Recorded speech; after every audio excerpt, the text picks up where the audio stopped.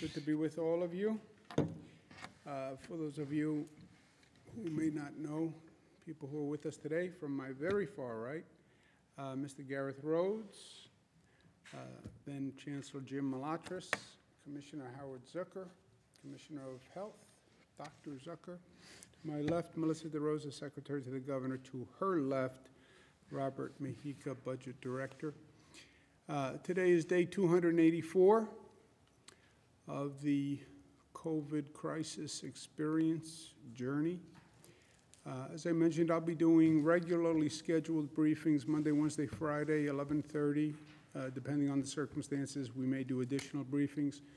We're now following additional CDC guidance that they have been uh, updating and offering. You see these very attractive uh, partitions that we now have, uh, which are part of the CDC guidance. The numbers for New York State for today, uh, the statewide positivity without the microcluster zones, which are our high-intensity zones, is 4.86. If you include statewide with those high-intense zones, it's 5.4%. Uh, The positivity in those microcluster zones is 7%. We did 194,000 tests. Again, New York does more testing than any other state. That gives us more data, more information. We make decisions based on the data. The more tests, the more data. Statewide deaths, uh, 95. Uh, That is a sad number. The number one, when it's a death, is a sad number. Number 95 uh, is extremely sad, and and those New Yorkers are in our thoughts and prayers. Hospitalizations up about 158, um, ICU up 46, intubations up 28. We now are conducting three COVID operations basically at the same time. First, we're managing the hospitals under what we call our Surge and Flex uh, program. Uh, This is a hospital capacity crisis. Uh, And more and more, it's becoming a greater crisis for hospitals as their capacity is further diminished. We sent a letter to all the hospitals in the state, uh, talking to them about uh, this situation and uh, what they're going to need to do. They're going to have to be extraordinarily flexible and nimble uh, to handle the additional caseload that is coming up. Uh, Hospital systems have to work as a system and balance caseload uh, uh, among hospitals in their system. We then may get to the point where we have to shift patients before they're admitted to hospitals, to other hospitals that have a greater capacity. So uh, it is a management logistical uh, nightmare. And the more cases go up, the, the harder it gets. Uh, We released a letter that went to all hospital administrators, and uh, there's going to be a meeting with them today. So that's one operation that's going on. Second operation is continuing to work to slow the spread of the virus. Uh, We have the Thanksgiving uh, surge, if you will, and uh, we're, we're starting to see the full effect of that now, and we're analyzing the data on the Thanksgiving spread. Uh, We also talked to, uh, literally, we've been blessed with international experts who've, who've given us guidance and are looking at our data and our situation, and actually recommend adding new factors to our plan, uh, which uh, I think is good advice, and we're going to do that, and we'll announce a, a new plan uh, on Friday.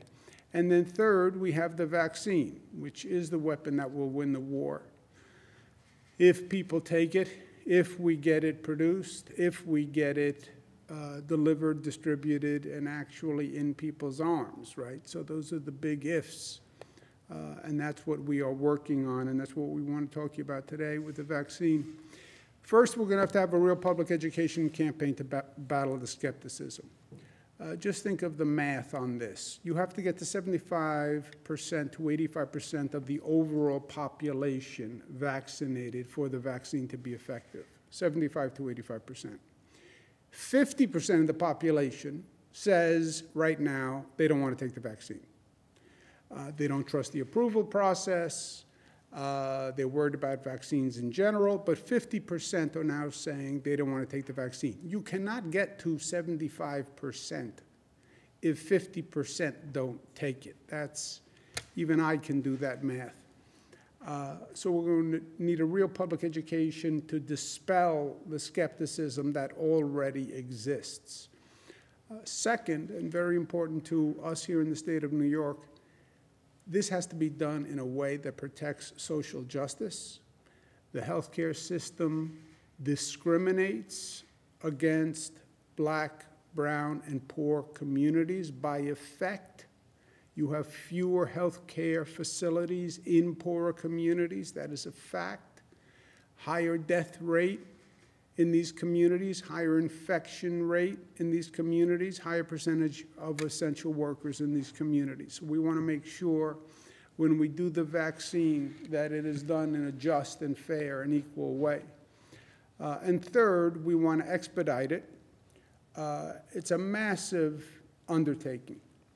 I think, frankly, uh, people have not focused enough on the extent of what this undertaking means. Uh, I can't think of a government operation that has been commenced that is more difficult and intricate than what governments will be asked to do here. Uh, the scale of vaccinating every person in your state uh, is just massive. Uh, New York has been very good at uh, scaling up, and we've been very good at tackling challenges during COVID, like COVID testing. But this is going to test capacity all across the board. The way the vaccine is going to work is the federal government uh, will be responsible for the procurement and the distribution. The, me- the uh, military is doing the transportation. They're actually using private companies in part, uh, FedEx, uh, other private companies to distribute the vaccine to the different states. Uh, The federal government looks to the state to set the distribution locations. They will send it where we ask them to send it. Um, And we then set the priorities for not only where it goes, but who gets it as the first set of priorities. Our priorities have basically tracked uh, the federal government suggestion on prioritization. The ship, first shipment uh, is allocated on the base of number of healthcare workers and nursing home residents in the state.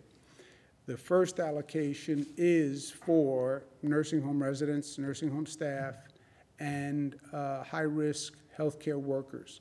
So that's how we're allocating what Buffalo gets versus Monroe versus Essex versus New York City.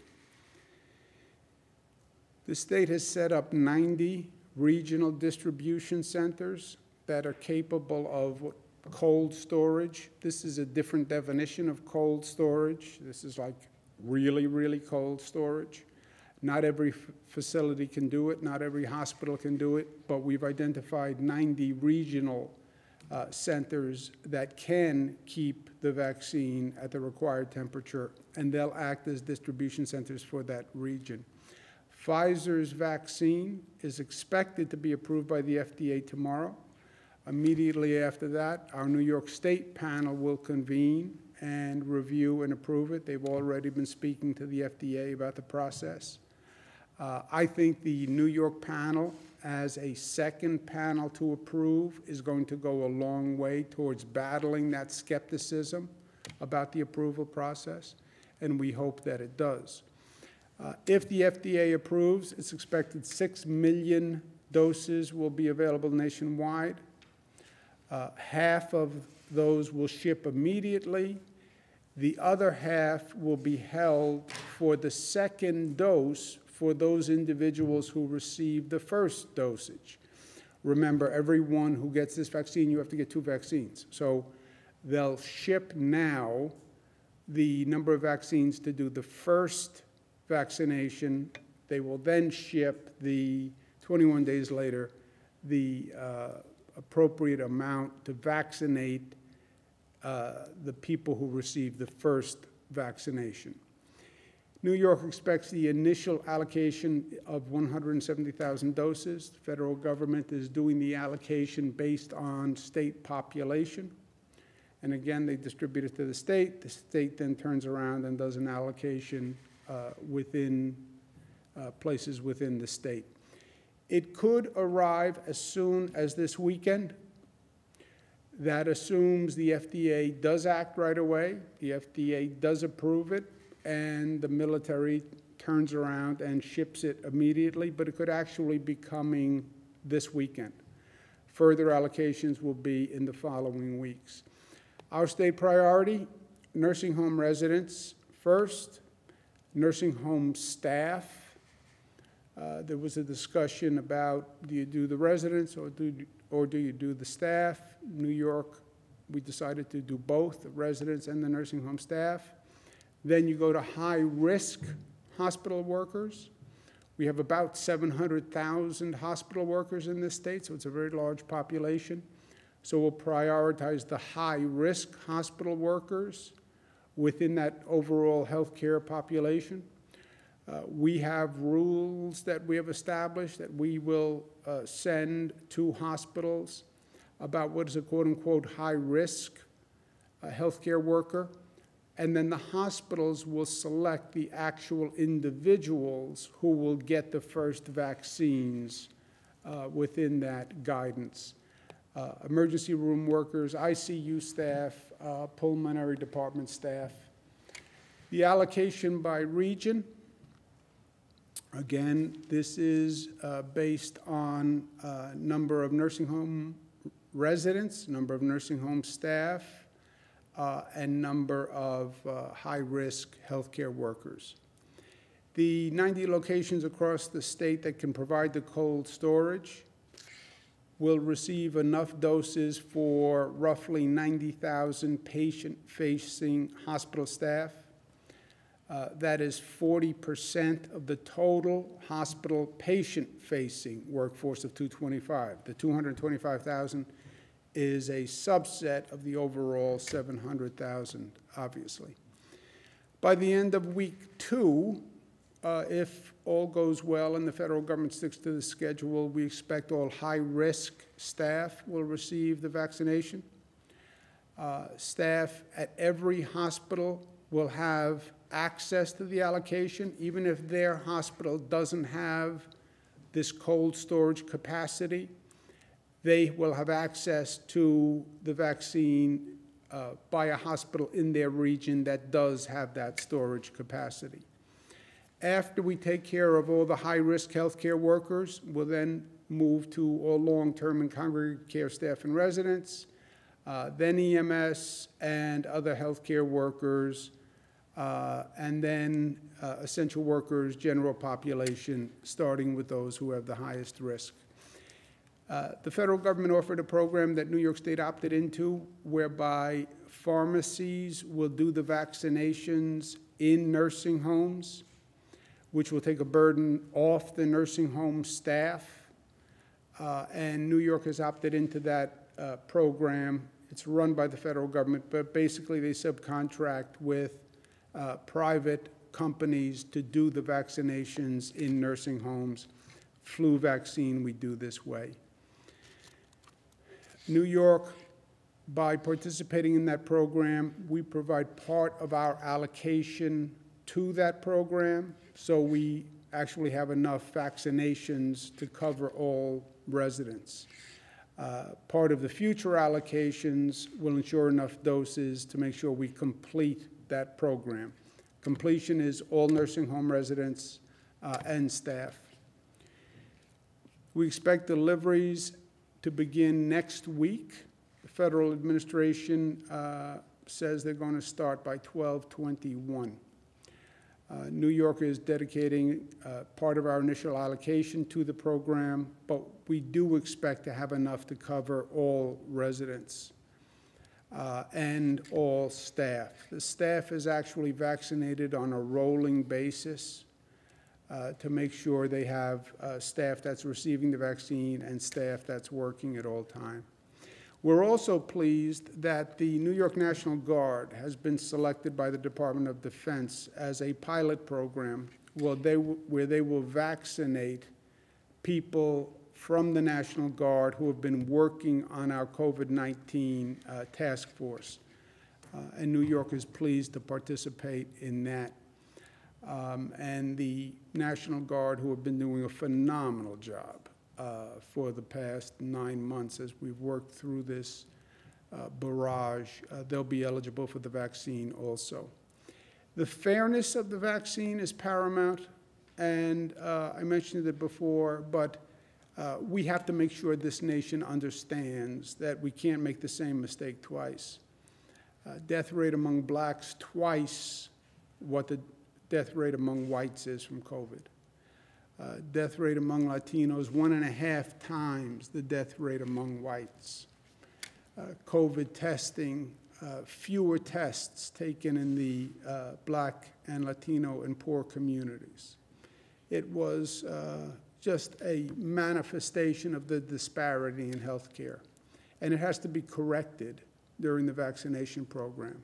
We have to get into public housing. We have to partner with uh, black churches and Latino churches, community groups. Uh, this has to be a fair distribution, and New York will lead the way. Uh, we've made these concerns known to uh, HHS. I've sent letters. I've done speeches. I'm working with uh, civil rights groups across the state, uh, made these uh, points to Congress on several occasions. We're working with the NAACP, Mr. Johnson. We're working with the Urban League, uh, Mayor, Marc, Mayor Marc Morial. Uh, but this is a point that we have to uh, bring home and we have to be successful. We do have good news that uh, we, we waged a similar effort on the rules for vaccinations for undocumented people. The way the federal government constructed the program, basically, uh, they wanted the states to collect social security numbers, citizenship, passport numbers, or driver's license numbers for anybody vaccinated. These are all bells for people who are undocumented, alarm bells. Uh, and it sounded like you were trying to use the vaccination to uh, identify undocumented people. We have gone through this with the federal government uh, at length with the Trusted Traveler program previously. Uh, if undocumented people don't get vaccinated, it compromises their health and it compromises the whole program. Again, the program only works if you hit a critical mass of the population. If you uh, say, well, the undocumented uh, we're going to exclude practically because they won't come in and participate. You have 50% of the population that's skeptical. We're not going to reach out to the uh, black, Latino, and poor communities. It's never going to be a success. Uh, so we raised this point. Again, we did letters, I did speeches, spoken out publicly, uh, and HHS has agreed, CDC specifically, has agreed that the state will not send individual data uh, identifying a person in a way that could be used uh, to uh, document citizenship or deportation, et cetera. Uh, we insisted uh, on that in the what's called the data sharing agreement, data use agreement, uh, and CDC agreed. So that is a better vaccination program for this country and for this state. It took a lot of work, but I want to congratulate all the advocates uh, and people who stepped up and spoke up uh, because it was a good service. Uh, we want to raise one other topic, which is very important. The congressional back and forth on financial relief for state and local governments is essential and it's probably uh, essential to no state uh, more than the state of New York. And we sent a letter to Congress today uh, that was uh, co-signed by uh, myself, elected officials, the Speaker of the Assembly, Carl Heastie, the Senate Leader, Andrea Stewart Cousins, Mayor Bill de Blasio, all our partners in labor, We need federal aid, period. We have been very good at dealing with economic circumstances in the state of New York. I've closed many budget gaps. I've closed the largest budget gap in the state's history. I am telling you, we cannot close this financial gap without federal aid. Uh, and that's what the letter to Congress says. And our most important point is uh, whenever they come up with a program, there's now a bill for uh, $908 billion. I believe President Biden will come in and will propose a, a large package. The funding should be distributed by need, by need, not by politics. The other funds that they have passed, what they call the CARES Act, they distributed the money politically. Uh, everybody got uh, X. They just cut it up like a piece of pie. This is supposed to be funding that goes to help states recover from COVID, help cities recover from COVID. It wasn't supposed to be political pork barrel. Uh, and the distribution should be by need. Who got hurt by COVID? And what is the need from COVID? That's what taxpayers were told they were funding. New York State paid the greatest price in the nation for COVID. Not because I'm the New York State governor. That is a fact. That is a fact. We were misinformed. We were misled. It was the negligence of the federal government that created the situation in New York. We were all there in the spring when the federal government was saying, the virus is coming from China, it's coming from China. Few cases in California because people flew from China to California. The virus wasn't in China, it was in Europe. And either they didn't know it or they didn't tell us. I don't know which is worse. But the virus was coming here January, February, March from Europe. Three million Europeans came, brought the virus while they were still pointing to China. China travel ban was February 1st. There wasn't a ban from Europe until March 16th. March 16th, the horse was out of the barn. We had thousands of cases in New York, planes landing in JFK and Newark, LaGuardia airports. If we do not get federal funding, uh, the consequences are going to be devastating to this state and the families uh, and governments within the state. You could see the layoff of several thousand government workers. Uh, unless the federal government is truly responsible and accountable and really gives New York the funding it deserves, uh, you'll see tax increases. Uh, you probably will see tax increases in any event Pardon my skepticism about Washington. Uh, but you could see dramatic tax increases that would hurt families uh, and hurt the economy. If the MTA doesn't get funding, they could lay off 7,000 MTA workers. They would have to raise uh, bus and, and train fares and tolls. That's the last thing we need now.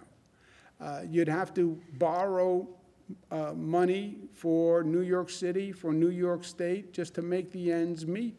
And you put all of these things together government borrowing, tax increases, layoffs. This is the last thing you want to do now. Not just on a state level or a city level or a local level, the last thing you want to do nationally. You want this economy picking up, not slowing down. Every economist from every ideology says if they starve states and local governments and make states and local governments lay off workers, you will hurt the economy and you could cause a recession. Why you would want to lay off essential workers now when you're just starting this ambitious vaccination program, I have no idea. I mean, a more uh, obnoxious coincidence of facts you could not have greatest governmental undertaking on the vaccination program, Oh, now we're going to starve state and local government, so they have to lay off the people who would do the vaccination. I mean, it was, uh, it's a level of idiocy uh, that uh, is unparalleled. And forget government, you hurt people. You hurt people. You hurt families who don't have a paycheck. You hurt small businesses that have been hanging on by their fingernails for months. Uh, it's not politics. I talk to governors all across the country. Every state is in basically the same situation. Uh, they have to act responsibly and they have to act quickly. And that's in the best interest of everyone. I'm pleased today to be joined by New York City Mayor Bill de Blasio, uh, who is, is going to discuss this topic with us today. We're also joined by Mario Cilento, who's the president of the AFL-CIO. Uh, obviously, this has dramatic effect on uh, the people who work for the state, the people who work for uh, businesses that rely on the state.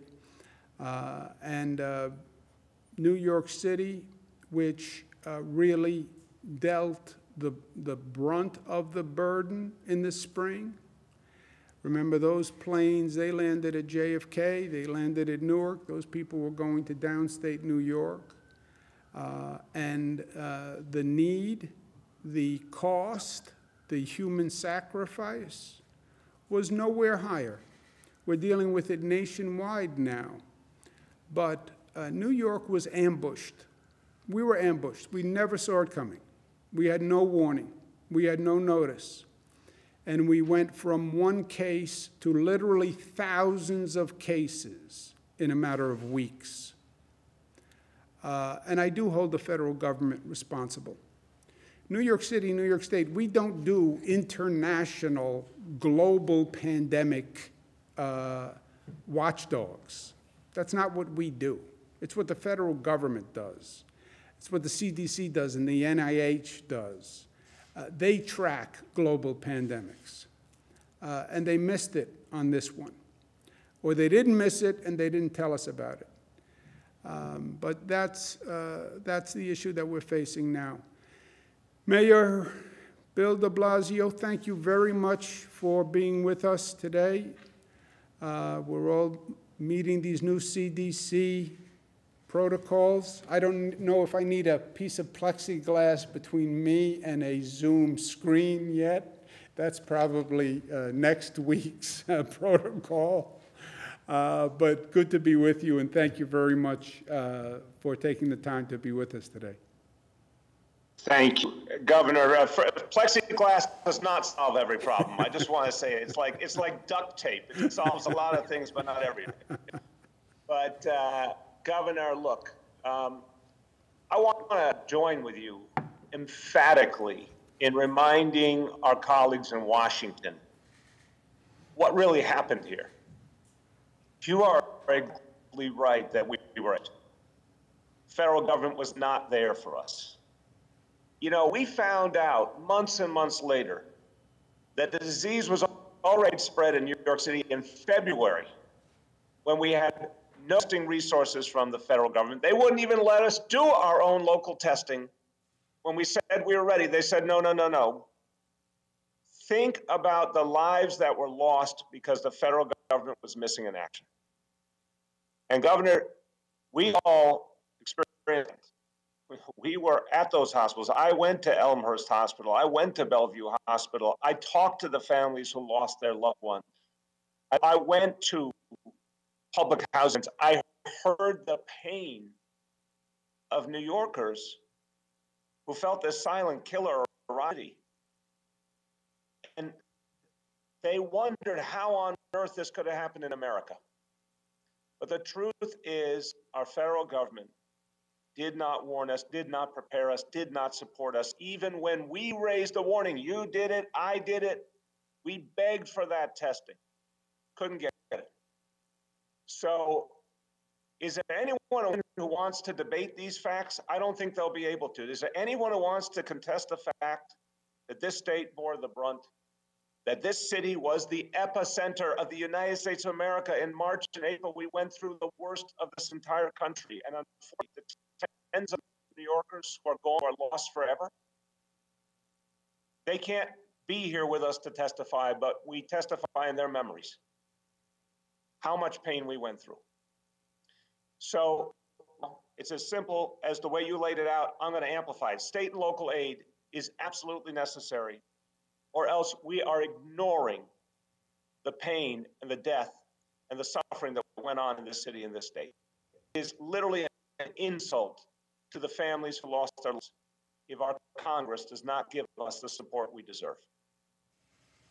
You have to have support for the state government. State of New York's gone through hell. We need a strong state of New York. I can say on behalf of all cities, towns, counties in New York State, we all need directly as well. We will not be able to stay on our feet. We will not be able to provide the services people need. Governor, people need the services more than ever. The vaccination, as you said, but all the other healthcare services, keeping our schools going for our kids, providing safety for our people. Folks need that more than ever. And if we can't provide those services, how on earth are we going to have a recovery? And this is the part that bothers me the most of people who say they want a strong economy, they want to see America come back. How do you have a recovery if cities and states are collapsing all around you? If you can't provide basic services, if you cut basic services, you cut off the recovery. That is the bottom line here. So I know what we went through. I felt it, I lived it with my fellow New Yorkers. I know we deserve help to recover from a crisis we did not create and our federal government did not. I know states and cities and towns and counties will do our all if we're just given the opportunity to get back on our feet. I also know this city and this state amongst the strongest engines of the American economy. Let's not leave this out of this discussion. If you want the United States of America to come back, you need New York City to come back. You need New York State to come back in good times, and those good times were as recently as February, we were leading the nation in a strong economy. Now we've been hit back on our heels. Do you really think the United States of America is going to come back without New York City and New York State returning to our full strength? It's not going to happen. So, Governor, join cause. I say to our Washington, and we honor our senators, our Congress members, but we need you guys now. We need you more than ever. We need you to tell our story and ensure we get just our fair share. That's all we're asking for. So we can come back strong for the people of the city and the state. Thank you, Governor. Well said, Mayor. And by the way, Mayor, uh, what you say is exactly right. And there's no disagreement on the facts. Uh, we know that the virus was now here in February, right? We found out too late, but scientists will attest to that fact. We know the virus came from Europe. Scientists will attest to that fact. You are Dr. Redfield of the CDC, and Dr. Fauci testified before Congress uh, April, May, that we missed it. We missed that the virus left China, went to Europe, and then came to New York. We missed it. That's what happened to New York City, New York State. They missed it. Okay uh, it's a quite different conversation about uh, their, their competence and, and how much they communicated. But they missed it, and they said they missed it. Uh, they created it. And your point about you want to bring back the national economy, you don't bring back the national economy without the New York economy. You're exactly right. Thank you very much, Mayor. It's a pleasure to be with you, even though we're on Zoom but at least we don't have No plexiglass. plexiglass. No plexiglass. I'll see you soon, Bill. Mario Cilento, our partner, president of the AFL-CIO. Good to be with you, Mario. Thank you for the help on this. Be here. Thank you, Governor. Thank you. Thank you for having me. I, I appreciate it. And let me just say this. Uh, uh, first, I want to thank you for your leadership uh, in the effort to secure funding from Washington. You, you continue to set a standard for leadership that we can all be proud of. And as you said, Federal aid has to be proportionate to the damage we've already incurred as a state. Working men and women in New York have suffered more than any other state in the country and in every possible way. Uh, the damage done economically to New York and to New Yorkers is incalculable. But in addition to the economic hit we've taken, physical, as well as the emotional stress is something so many working people continue to deal with. Workers not knowing, Governor, they'll have a job next week or next month, not being able to buy presents for their children holidays, family not sure where their next meal is coming from or if they're going to pay their rent. And as a parent myself, I mean, it kills me to think to even so many New Yorkers are going to have to disappoint their children this year. And I know, Governor, you as well, a father of, of daughters like me, I know you feel the same way. And that's why we desperately need the federal aid. This isn't a New York issue. This isn't a union issue. This is a matter of humanity, of taking care of time uh, of extreme need. Because with federal funding, we're going to inflict even more harm on those who've already so much. The workforce who risk their lives and the well-being of their the rest of us who've seen their co-workers sicken and in some cases die.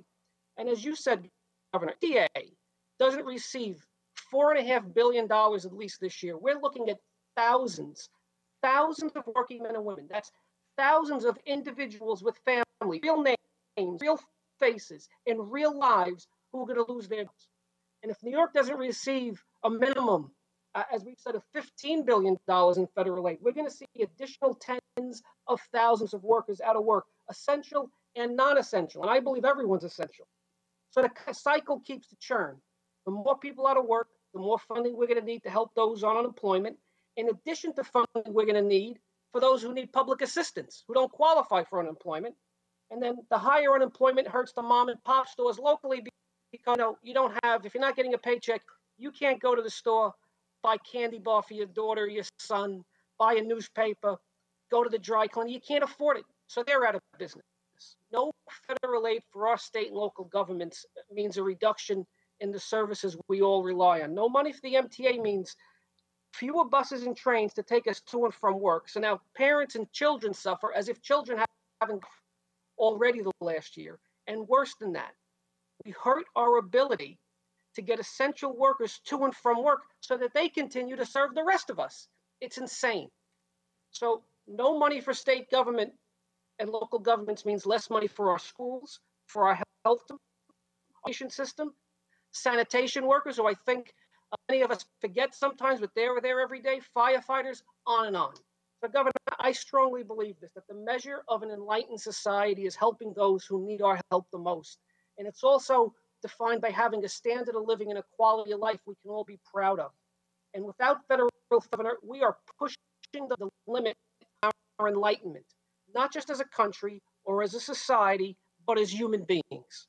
And I pledge to you here today, Governor, that the labor movement will work with you in all capacities to ensure federal funding and to ensure that New York continues to have a standard of living and a quality of life that we can all be proud of my two and a half million brothers and labor movement in this state, Governor, we will stand by you side by side and shoulder to shoulder, continuing to reach out to Congress and Senator McConnell to let them know how critical the funding is for all of us. And Governor, I want to say thank you, and thank you, Governor, for leading this fight.